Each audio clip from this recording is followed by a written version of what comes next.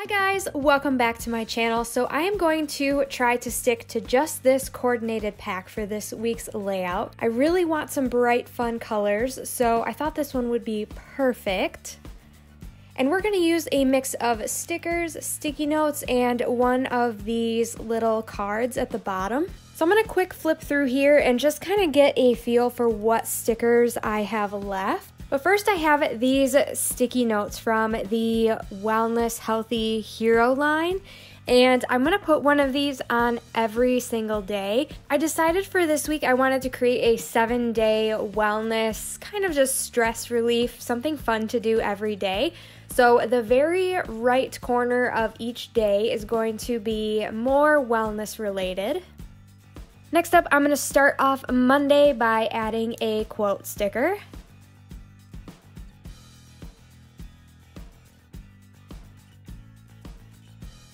I love these coordinated packs because I never really think to use sticky notes in my layouts. I use them on my monthlies just to write down plans that may change, but I never really think to use them in my weekly layouts. And this is the second week in a row that I've been using sticky notes, and I have a feeling this year, at least for the first couple months, sticky notes might be one of my go to things that I never used to use. Let me know in the comments down below is there something that you have that's planner related that you just never think to use? For me, it's sticky notes. And then I'm going to use these asterisk stickers and one on each day. And each day I'm going to write down a fun wellness activity to do, which I will share towards the end of this layout. I will write it all out for you so you can kind of see what it looks like at the end.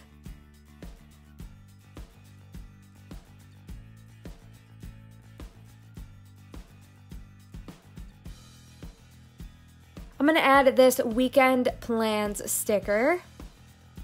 And because I want this week to be more of a relaxing, less stress week, there's to be a lot of bright colors and also fun quote stickers. So because the right hand side is my wellness challenge, I'm to keep the middle a little bit more quote inspirational. And then the very left is going to be my daily to-do list. And now it is time to bring out something that I used to use every single week and then I switched to a horizontal planner and I really haven't used my checklist stencil at all anymore. I still love this thing. I still think it is a, great planning tool. I mean, I could just draw these boxes in with my Mildliner without the stencil, but where's the fun in that? I love my stencil. I haven't used it in a while, so I'm to use that on Monday through Friday. And then I'm going to add some more quotes to the right hand page down the middle. So these are really going to separate my actual daily to dos from my wellness challenge for the week. And then in the notes section, I'm going to have a place to write just general notes and then a don't forget section with my top three things that I would like to get done this week, but it doesn't necessarily matter what day.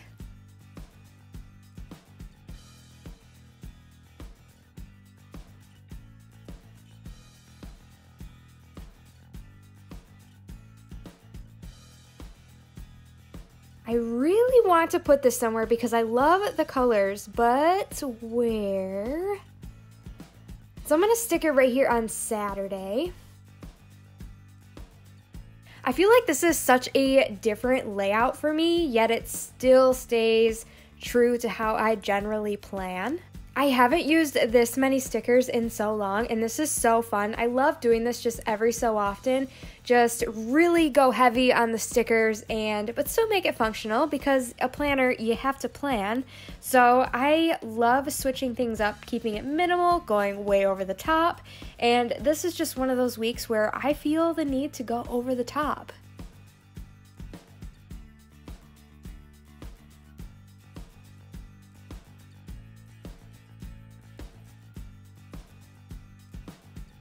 So I'm to add a couple of these just little circle quote stickers.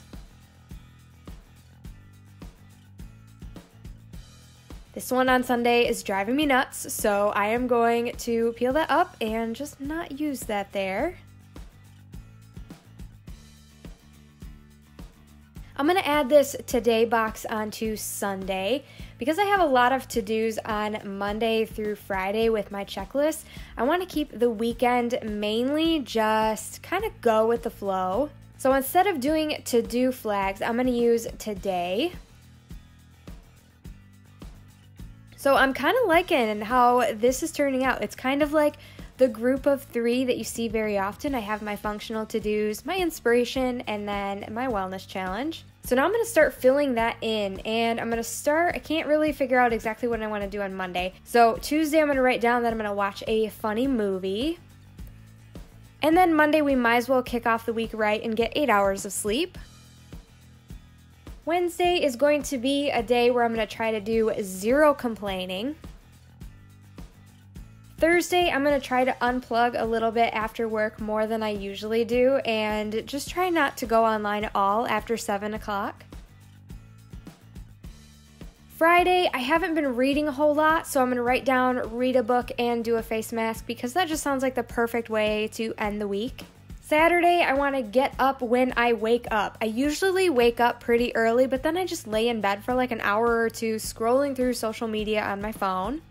And Sunday, I'm just to write prepare for next week.